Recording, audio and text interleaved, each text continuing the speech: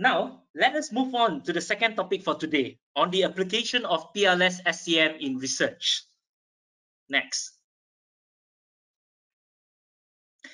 Since Prof. Shelf has served as guest editor for several IS journals, could you share with us what are the three advices you would give to the scholars or me who use PLS SEM in their analysis and wish to publish in top tier journals? The floor is yours. Okay, thanks again. It's my pleasure to share my experience here. And I really appreciate the Marko. Marko, hi. And we did a special issue in the internet research. We spent a lot of time and with the uh, Hair. And I'm the review manager, so I can see all of the papers go through the every detail. The top five reasons to reject in the special issue. The first one is the outdated mediation and the modulation. We know most of the research use the Baron and Kenny 1986, but it's a paradigm, of course, but now it's outdated. We should use the new one. And if we have time, I can introduce more. The second one is the, of course, I we did uh, the IS the uh, journal. So so many submissions they use the TAM related issues, but now that it is hard to find a new research about TAM model. So and our suggestion is to forget about the TAM model here. The third one is the model the misspecification, the reflective and the formative. That if you you model the wrong ones, then we reject you and include the second order that more complex. The first one is the contribution. If your contribution is not clear, then we reject your paper. The last one is the hypothesis and testing. It must be consistent. Next one. My second part the experience is not only for the, the special issue, there's the for the most of the journal. As the A and SE right now, I reviewed so many the paper that submit to the journal. So I list the critical issues that will be rejected. The top one, one is to make your contribution clear. The second one, some submission, there are lack of the operational of the construct and the measurement indicators, then we don't know the, what you are measure about the phenomena. The third one is the small samples. As we, as I mentioned in the last uh, slide, that small samples used in the smaller populations, you must collect a, a, a, a bigger one. So, for example, for the confirmation then it's better to more than the 110 times of the, the indicators. And the reflective, the construct, the formative construct I mentioned, and the mediation and the moderation, the second orders I mentioned before. And now let me introduce a little bit more about the problem.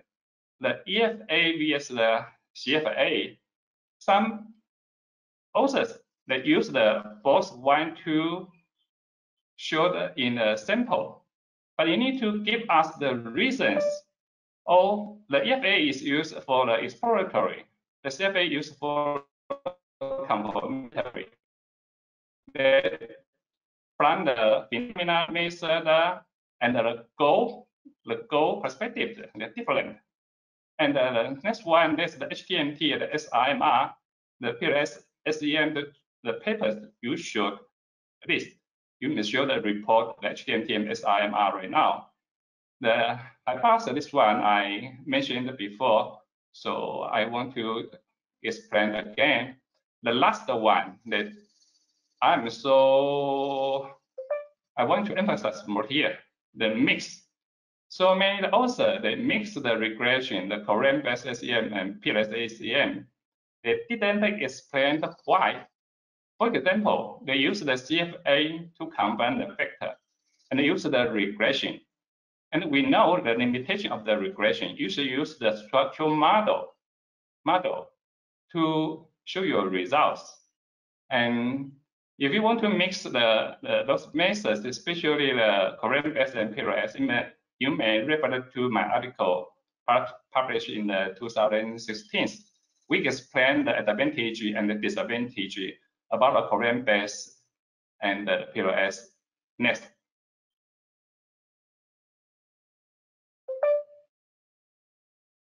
The correct use of SEM, I, I did SEM research more than 20 years. So I just introduce a little bit about the correct use, correct report. The first one that published in the 2013, the correct report SEM papers. The second one, that if you want to do the model comparisons, then we have the nested and the not nested you must show the different statistic here. That's about the current-based SEM. The third one, they combine the current SEM and the PLSEM.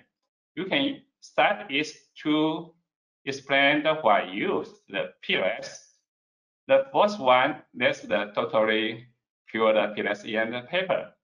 It include the, the common method response, non-response, the fifth one, this is a very, very complex one and reviewed by the uh, guest editor, the Henseler, that how to do a first order and a second order. And the measurement invariance, they use the MICOM procedure and the MGA. The next one.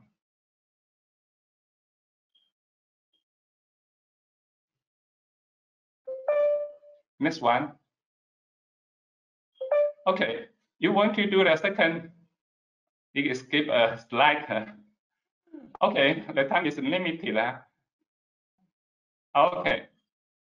Okay, uh, the, great, uh, great thoughts from Professor Xiao. Uh, good articles that shared by you. So as a participants, you guys can take note on that. So as well as the books, yeah, don't forget the books, yeah, don't forget the books. So next, since we all know that publication in top tier journal are getting you know difficult tougher professor christian this question is to you.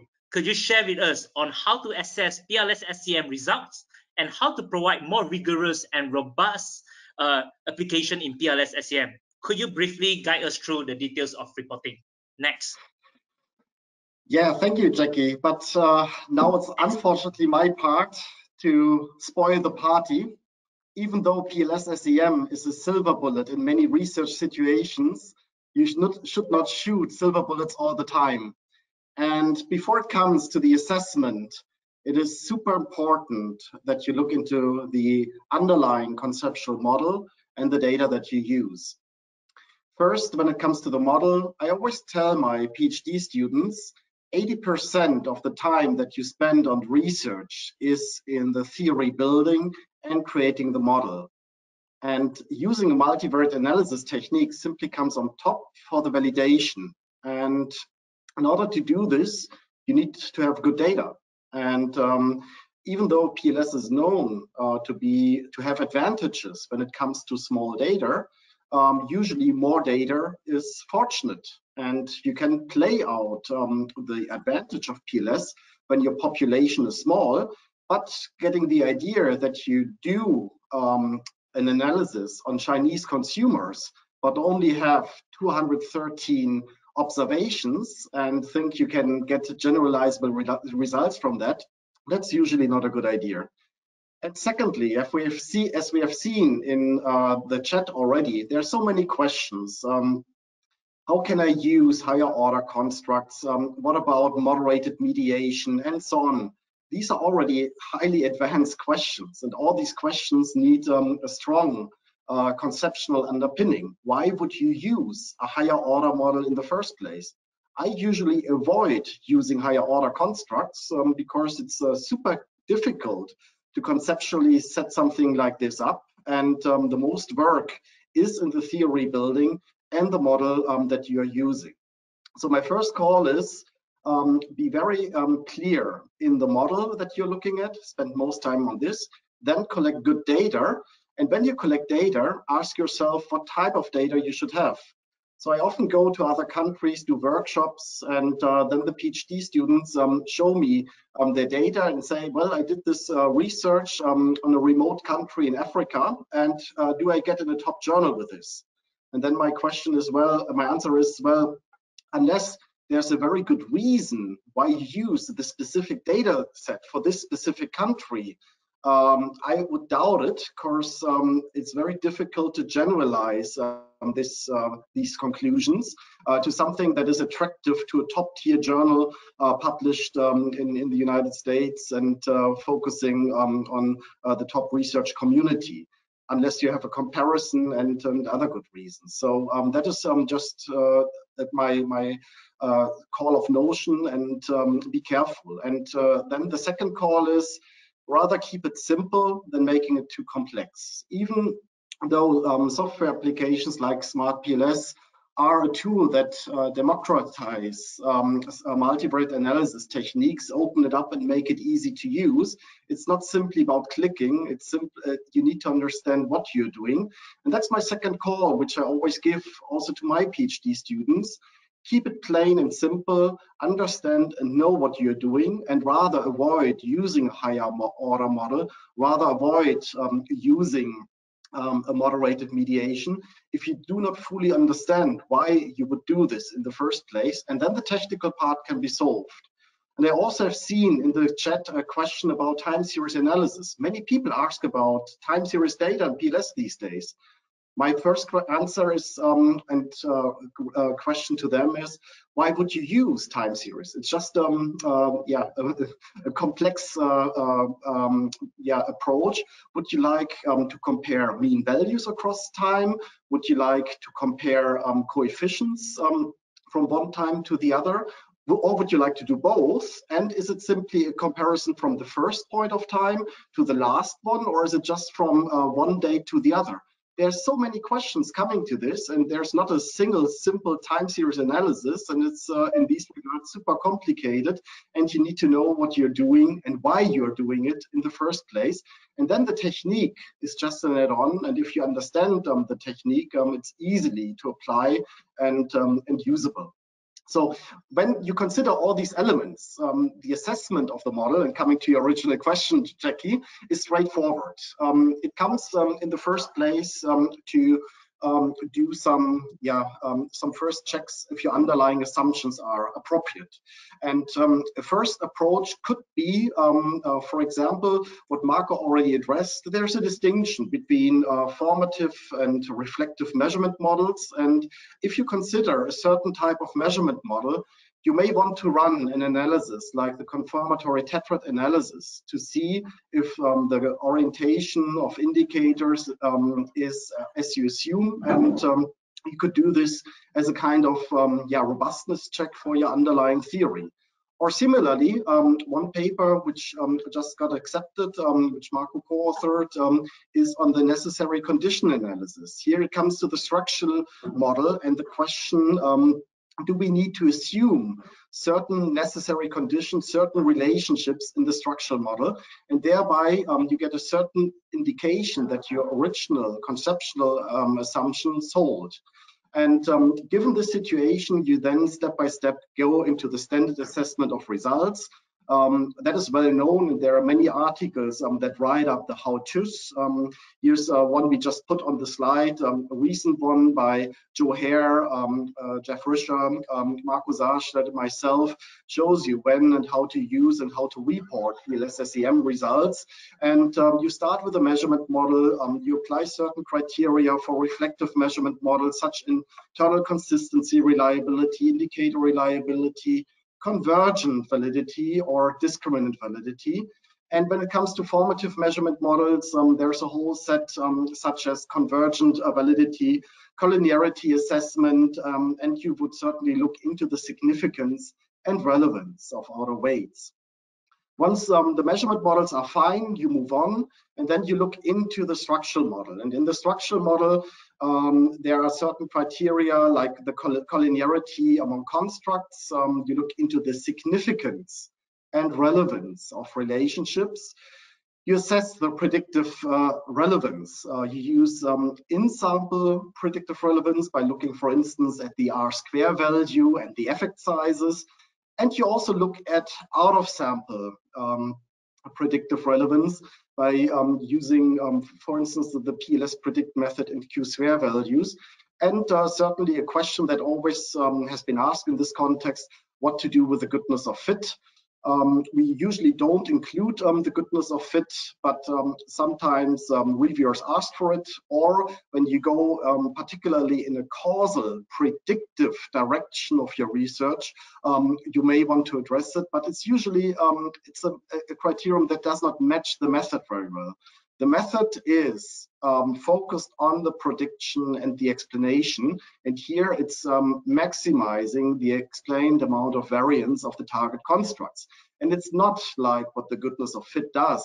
Um, minimizing um, the discrepancy between your sample data and uh, the model implied covariance matrix. So it's a completely different goal. This completely different goal is followed by CBSEM, but um, PLS um, has um, more the prediction oriented goal.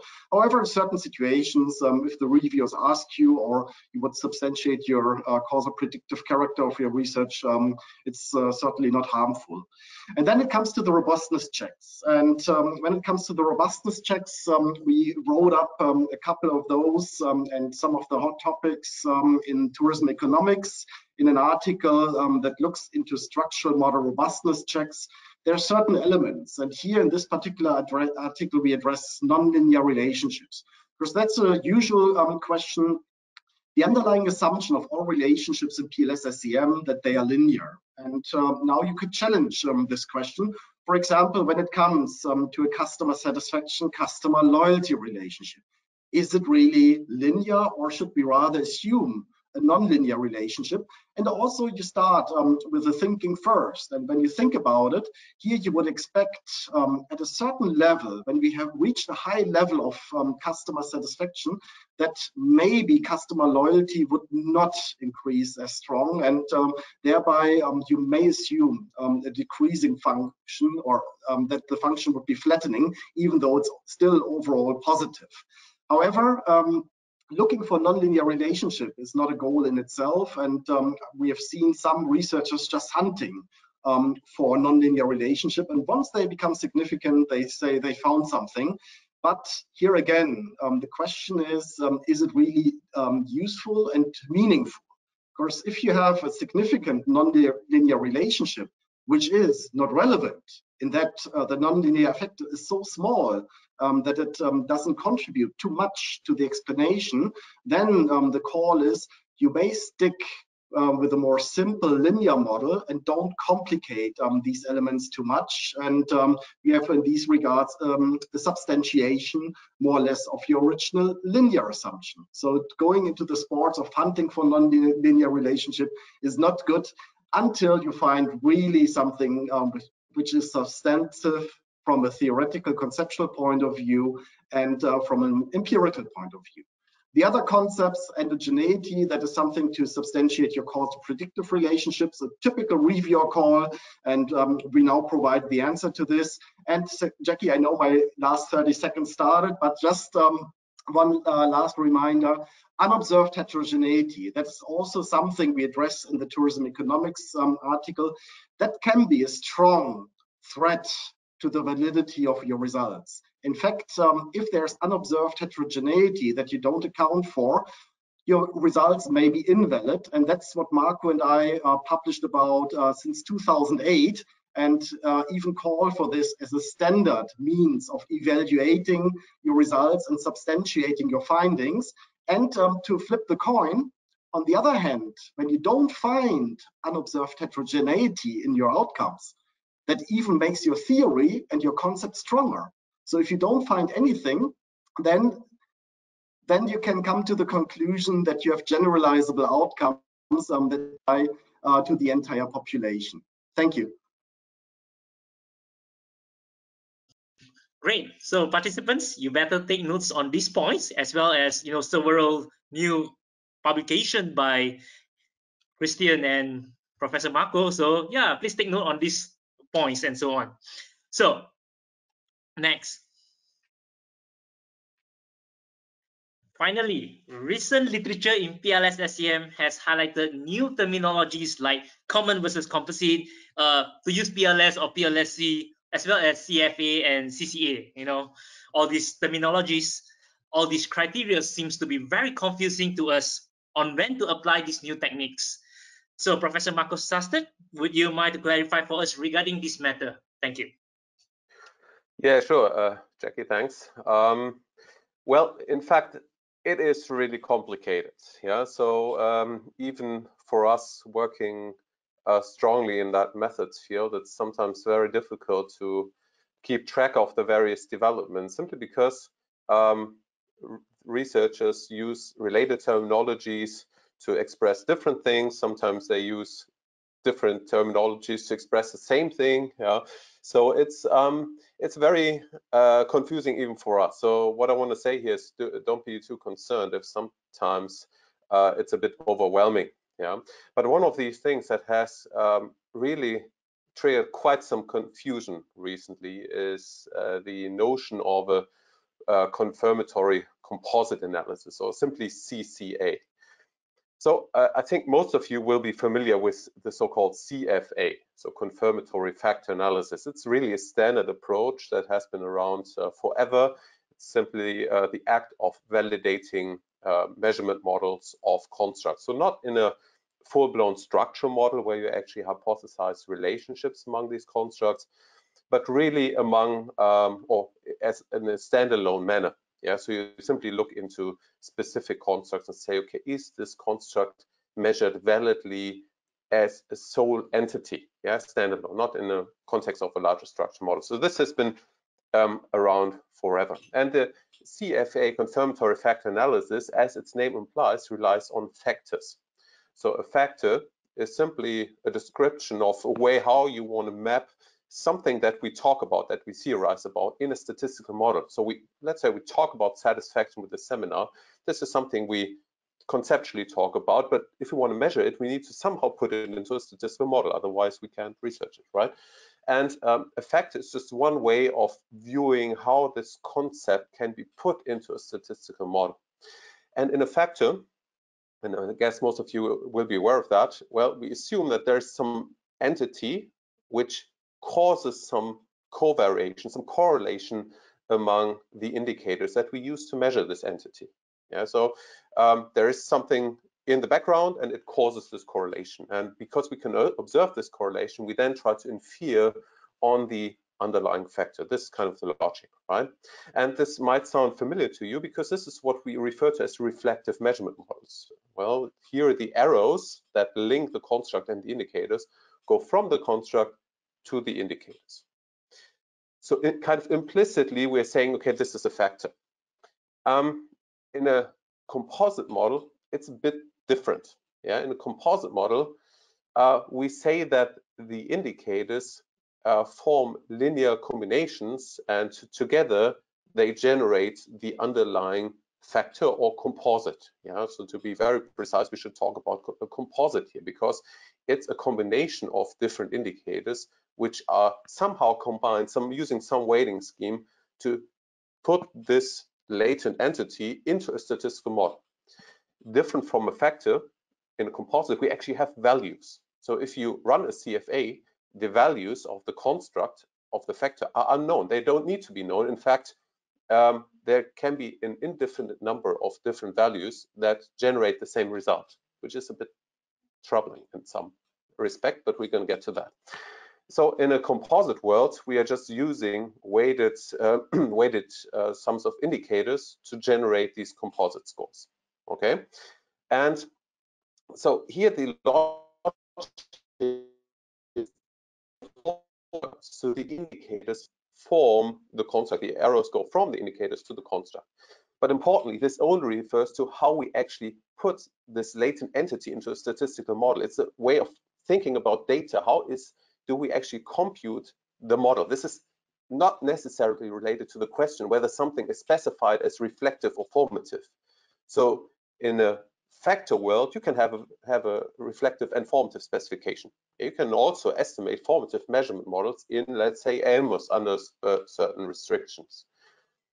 Similarly, in PLS, even though kind of the logic how the composites actually get uh, computed in the model goes is always a formative viewpoint, actually you can also specify reflective measurement models here. So it's these are two different things. Think about it as, okay, conceptually, how do I want to measure my constructs or my, my latent entities that I'm interested in?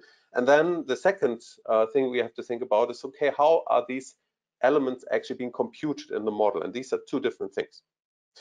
So because PLS and other methods like regressions using some scores or some other weighting or generalized structured component analysis, maybe you've heard about that, because these techniques are composite based, well, the CFA logic of validating them is not fully applicable.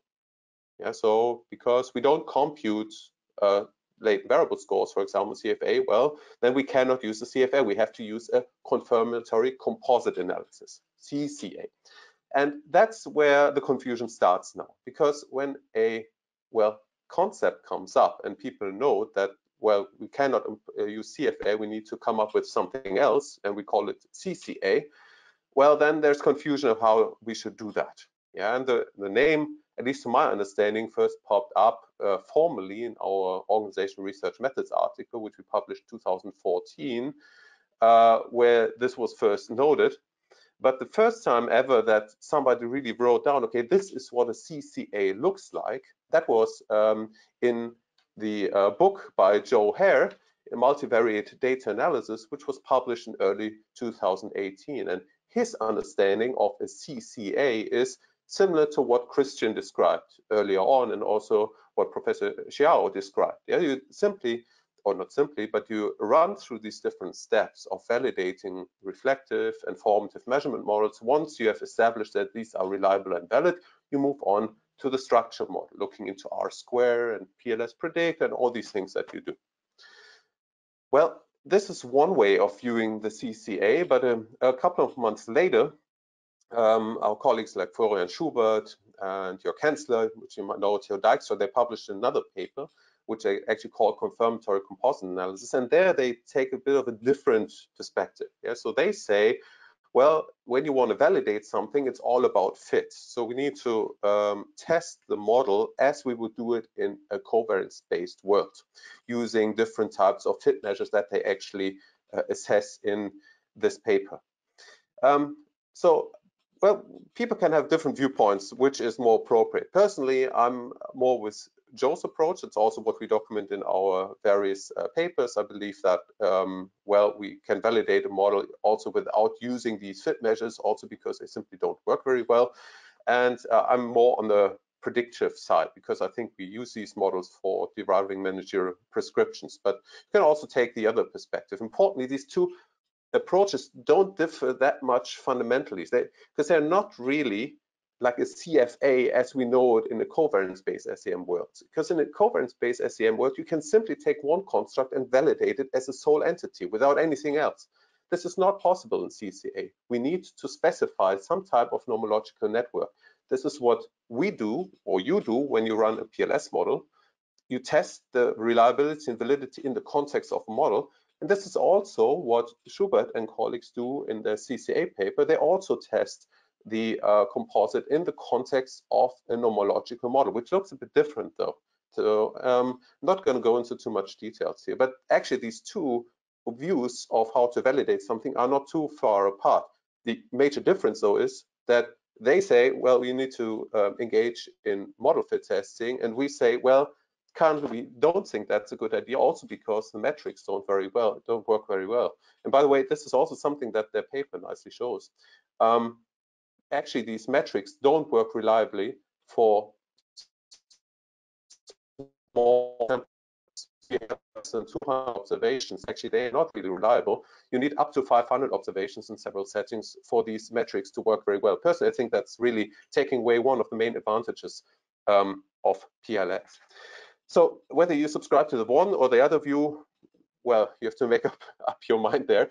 Um, but if you're interested in um, this uh, view uh, that that we kind of advocate, I would suggest looking into this recent paper by Hair, uh, Howard, and Nitzl, published in the prestigious uh, Journal of Business Research. So here they um, explain uh, how to run a um, CCA in the context of a PLS model.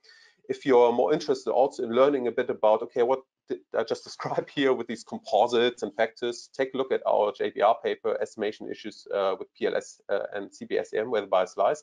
Uh, next, please.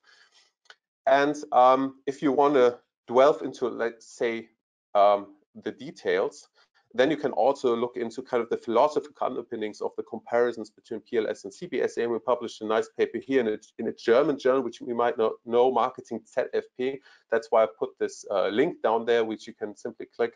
And if you're like uh, more interested in the hardcore uh, statistics behind that and some implications of recent um, new thinkings of measurement in general, uncertainty. We published a nice paper in multivariate behavior research and uh, nature human behavior on metrological uncertainty, which we believe has got pretty vast implications for the decision whether to use composites or factors.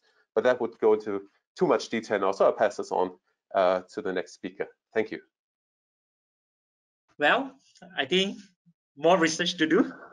More research from you guys, Professor Marko and Professor Christian. I think more research to differentiate the CFA, CCA, and so on. So hard work for you guys, not on us. you just apply and use it. So uh, next, let us look into the third topic for today. And something that everyone is awaiting because uh, it's about current advancement of PLS and smart PLS.